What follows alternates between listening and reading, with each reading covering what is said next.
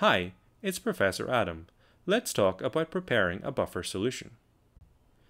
As we've talked about before, a buffer solution is a mixture of a weak acid and a salt of its conjugate base, such as acetic acid and acetate. We have previously learnt that buffer solutions can control pH changes.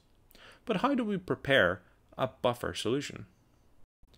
When preparing buffer solutions, two things have to be considered, pH control and buffer capacity pH control is fundamental to the functioning of buffer solutions.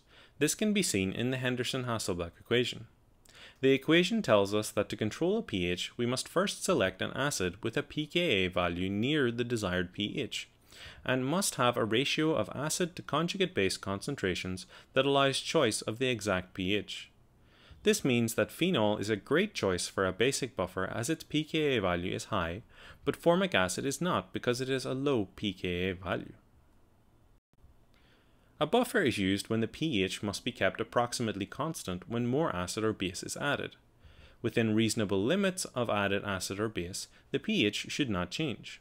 For example, the concentration of formic acid formate ion in a buffer must be sufficient to consume all of the hydroxide ion that is added and still be able to control the pH. Eventually, too much strong acid or base is added and a buffer will lose its ability to maintain an approximately constant pH. Let's look at an example. We are being asked to prepare a 1.0 liter buffer solution with pH 10.0. First, we should consider some acids with pKa values in that area. Phenol is a good choice because it has a pKa of 9.9. Now we must make use of the Henderson-Hasselbalch equation for buffers to determine the ratio of conjugate base and acid concentrations.